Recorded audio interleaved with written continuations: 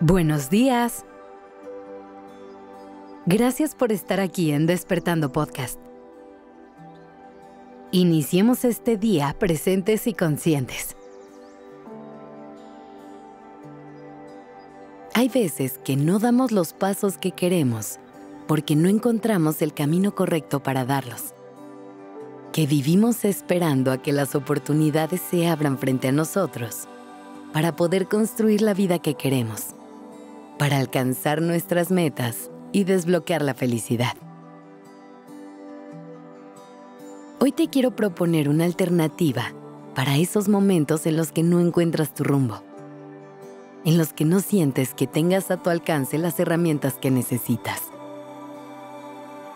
Cuando no se te abran las oportunidades que buscas, intenta crearlas. Sí, así como lo escuchas. Deja de perseguir el camino perfecto que tenga todo lo que tú buscas y empieza a construir uno nuevo si es necesario. Te voy a contar una historia que me puede ayudar a ilustrar muy bien lo que te quiero explicar. Alguna vez conocí a una persona maravillosa a la que le costó mucho trabajo cumplir sus sueños. Específicamente cuando se trataba de su carrera, de encontrar un trabajo que le permitiera explotar sus talentos y hacer algo que le diera sensación de sentido a sus días. Después de mucho tiempo de búsqueda y tocar puertas, decidió tomar el control de su carrera en sus propias manos empezar a construir sus propias oportunidades y a través de proyectos que emprendió y caminos que construyó, pudo alcanzar sus metas y cumplir muchos de sus sueños. Ahora, yo sé que hay veces en las que poder hacer esto es un privilegio, que a veces tenemos que aceptar otras oportunidades que se nos presentan aunque no sean ideales.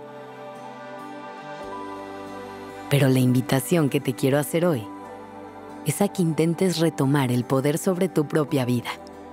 Que no te quedes sentada o sentado esperando a que las oportunidades vengan a tocar tu puerta.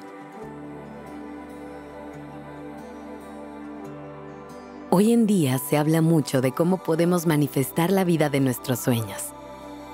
Hay mil técnicas que se proponen para conectar con nuestra intención y poder hacer realidad todo eso que queremos. Una de mis favoritas es la de hacer un vision board, que se trata de buscar imágenes que representen todos los anhelos que tenemos y ponerlos en una especie de collage.